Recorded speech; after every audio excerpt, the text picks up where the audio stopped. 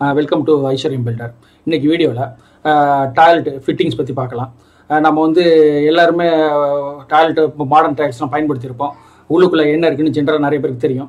இருந்தாலும் நிறைய பேர் கவனிக்காமல் அதை பயன்படுத்திட்டு இருப்போம். நம்ம சொந்த வீடு கட்டும் போது அதில் என்னென்ன இருக்கணும் அப்படிங்கிற அம்சம் இருக்கணுங்கிற ஒரு சின்ன விழிப்புணர்வு நமக்கு இருக்கணும். அதை பற்றி கொஞ்சம் தெரிஞ்சுக்கணும். அந்த எப்படியெல்லாம் அதை டிசைன் பண்ணணும் எப்படியெல்லாம் கட்டணும் அப்படிங்கிறது சின்ன ஒரு விஷயம் தெரிஞ்சுக்க வேண்டியிருக்கு நம்ம. அதை செஞ்சு சைட்டில் செஞ்சுட்டு இருக்கிறத நான் அதை கொஞ்சம் எக்ஸ்பிளைன் பண்ணி போட்டிருக்கேன். ஜென்ரலாக நம்ம டாய்லெட்டு பண்ணும்போது நம்ம நார்மல் ஃப்ளோரோட கீழே இருக்கிற மாதிரி தான் பார்த்துக்கணும் நம்ம. சில இடங்களில் வந்து சங்கன் ஸ்லாப்னு ஒரு விஷயம் கொடுத்துட்டு சொல்லியிருக்கேன். அந்த சங்கன் ஸ்லாப் போடாமல் வீடு கட்டினாங்கன்னா அந்த ஃப்ளோருக்கு மேலே டாய்லெட் வரும். அது வந்து கொஞ்சம் உயரமாக இருக்கும். பார்க்கறதுக்கு ஒரு அனீசியான ஃபீல் இருக்கும் நமக்கு. அது மாதிரி ஃபஸ்ட்டு பண்ணக்கூடாது. அது அது சங்கன் ஸ்லாப்னு என்ன அது எப்படி பண்ணுறதுன்னு சொல்லிட்டு இன்னொரு வீடியோ போட்டிருக்கேன். அது லிங்க் கீழே கொடுத்துட்றேன். நீங்கள் அதை ஃபாலோ பண்ணி பாருங்கள் ப்ளஸ் இப்போ சங்கன் செஞ்சாச்சு வீட்டில் இப்போ உள்ளர வந்து வால் கட்டியாச்சு. வால் கட்டிட்டு பிளாஸ்டிங் பண்ணியாச்சு. அந்த பிளாஸ்டிங் பண்ண பிறகு என்ன உள்ளர பைப் லைன்ஸ் எப்படி வரணும்? அது என்ன பண்ணணும்? அப்படிங்கிறத பற்றி தான் இந்த வீடியோவில் விளக்குறேன்னா அதை பற்றி பார்க்கலாம் வாங்க.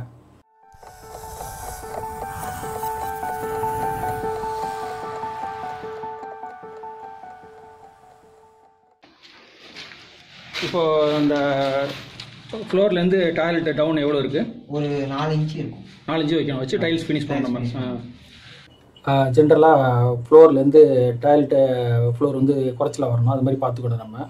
அது சங்கன் ஸ்லாப் போட்டு பண்ணுறது நல்லது. ஒரு சிக்ஸ் இன்ச்சு டவுனில் வரும். அதுக்கப்புறம் டாய்லெட்டை வந்து பிளாஸ்டிங் பண்ண பிறகு வரி விடணும். டைல்ஸ் ஓட்டுற மாதிரி. அதுக்கப்புறம் அது எங்கெங்கே லைன் வரணும்னு சொல்லிட்டு அந்த லைனுக்கு கரெக்டாக நம்ம வந்து ஒயருக்கு எப்படி பைப் லைன் கட் பண்ணுமோ அதே மாதிரி ப்ளம்பிங்க்கும் பைப் லைன் கட் பண்ணணும். எங்கெங்கே நமக்கு பைப் வேணும் எந்த இடத்துல ஃபிட்டிங் வேணும் எந்த திசையில் ஷவர் வேணும் எல்லாத்தையும் சூஸ் பண்ணி கிளைண்டோட டிஸ்கஸ் பண்ணி ஃபைனலைஸ் பண்ணிவிட்டு அதுக்கு தகுந்த மாதிரி நம்ம வந்து வாலில் வந்து கட்டிங் பண்ணணும். கட்டிங் பண்ணி ஃபைனலைஸ் பண்ணிக்கணும். கட்டிங் வந்து உடையாமல் சிதறாமல் கரெக்டாக கட்டிங் பண்ணிக்கணும் நம்ம.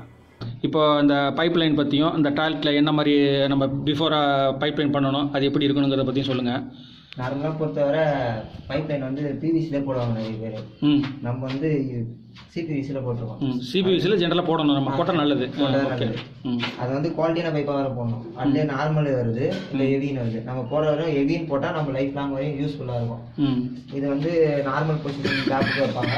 நம்ம வந்து வால் மிக்சர் பொசிஷன் வச்சுருக்கோம் அது வந்து கொலா மாட்ட பேர். ரைட் ஹேண்ட் சைடில் திருப்பினா ஹாட் வாட்டரும். லெஃப்ட் ஹேண்ட் சைடில் கோல்டு வாட்டரும் வரும். அதே நம்ம மிக்சர் மாதிரி வேணும்னா ஷவரில் நம்ம. ம். அதாவது மேலே திருப்பினா ஷவர் வரும் கீழே திருப்பினா இது வரும். நார்மல் பைப் தண்ணி வரும். அந்த மாதிரி தான் வந்து வால் மிக்சர் சொல்லுவாங்க. எப்பவுமே ஃப்ளோர் வந்து ஒரே மட்டமாக போடக்கூடாது. தண்ணி வாட்டர் போகிறதுக்கு நம்ம கஷ்டமாவோ வாட்டர் வைக்காம விட்டுறாங்க. நம்ம கொஞ்சம் டவுனாக கீழே இறங்கி இருந்ததுன்னா ம். அதுக்கேற்ற மாதிரி வாட்டம் வந்து. கரெக்டாக போயிடும். எந்த லீக்கேஜும் வராது ஃப்ளோரில் ம் இது நார்மலாக வெஸ்டர்ன் வெஸ்டர்ன் கொஸ்டின் வச்சுருக்கோம். ம். நிறைய பேர் இந்தியன் வைப்பாங்க வயசான காலத்தில் வந்து இந்தியனுக்கு வந்து ரொம்ப கஷ்டமாயிடுது. அதனால வெஸ்டர்ன் வச்சது கொஞ்சம் யூஸ்ஃபுல்லாக இருக்குது இப்போதைக்கு கண்ணுக்கு வச்சிருக்கோம். ஹெல்த் பாசிட்டிவ்னு இப்போ வந்து வெஸ்டர்ன் வச்சா பக்கெட்ல முண்டு கழுவுறது கஷ்டம் இல்லை. அதனால. கண்ணுக்கு வச்சிருக்கோம். இது வந்து டேங்க் டேங்க்குக்கு போகும் டேங்க் அவுட்லைட் அவுட் ம். இதான் ஜென்ரல் பைப் லைன் ஜென்ரலாக பை டாய்லெட்டில் பைப் லைன் பண்ணணும்னா மேலேயே ஓட்டலாம் அப்படின்னு நினச்சிங்கன்னா எக்கனாமிக்கலாக பண்ணிக்கணும்னு நினச்சிங்கன்னா நீங்கள் சாதாரண பிவிசிலே பண்ணிக்கலாம். அது எக்கனாமிக்கில் ரொம்ப எக்கனாமிக்கலாக இருக்கும்.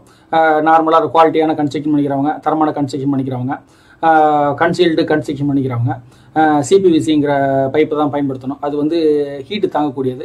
ஹீட் ரெசிஸ்டன்ஸ் இருக்கும். அதனால் வந்து லாங் டியூரேஷன் இருக்கும். நீங்கள் அந்த மாதிரி கன்சீல்டு பைப் யூஸ் பண்ணாக்க சிபிவிசிங்கிற பைப்பை வந்து பயன்படுத்தும் அந்த படத்தில் பார்க்குறீங்களா இந்த மாதிரி பைப்பை பயன்படுத்தணும். இதில் வந்து SDR eleven SDR thirteen point five அப்படின்னு ரெண்டு விதம் இருக்குது ரெண்டு இது இருக்குது இது எஸ்டிஆர் லெவனுங்கிறது வந்து பைப்பு குவாலிட்டியான பைப்பு இதுலேயே தி தின்னு திக்கு அப்படின்னு ரெண்டு வகை இருக்குது ரேட் வைஸ்லேயும் வித்தியாசம் இருக்குது அதனால் நம்ம கன்சீல்டு பைப் பண்ணும்போது திக்கான பைப்பு நல்ல குவாலிட்டியான பைப்பாக தான் பயன்படுத்தணும். அது வந்து அப்போ தான் லாங் டியூரேஷன் வரும். ஏதாவது லீக்கேஜ் எதுவும் பிரச்சனை இல்லாமல் நல்லா இருக்கும். அந்த மாதிரி பயன்படுத்தணும்.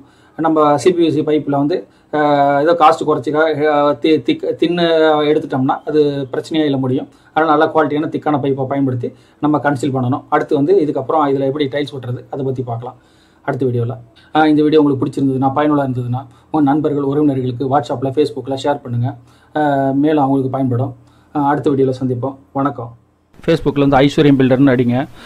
எங்களுடைய ஃபேஸ்புக் பேஜை நீங்கள் தொடரலாம். இதன் மூலம் வந்து எங்களுடைய டெய்லி ஆக்டிவிட்டீஸு ப்ராஜெக்ட்ஸு எல்லாத்தையும் பற்றி பார்க்கலாம் நீங்கள் மேலும் எங்களுடைய வெப்சைட் வந்து ஐஸ்வர்யம் பில்டர் டாட் இன்போன்னு சொல்லிட்டு இருக்குது அதை நீங்கள் டைப் பண்ணி பார்த்தீங்கன்னா மேலும் எங்களுடைய கம்பெனி என்னுடைய ப்ரோ ப்ராஜெக்ட்ஸு என்ன பண்ணியிருக்கோம் எல்லாத்தையும் தெளிவாக நீங்கள் தெரிஞ்சுக்கலாம்.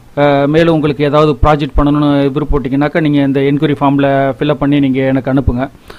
நான் பார்த்துட்டு உங்களுக்கு கால் பண்ணுறேன் என்கொயரி எதாவது பண்ணணும்னு நினச்சிங்கனாக்கா நீங்கள் வாட்ஸ்அப் பண்ணுங்கள் இல்லது எனக்கு வந்து மெயிலில் என்கொயரி ஃபார்மில் வந்து ஃபில் பண்ணி அனுப்புங்க. நான் பார்த்துட்டு உங்களுக்கு நான் ரிப்ளை பண்ணுறேன்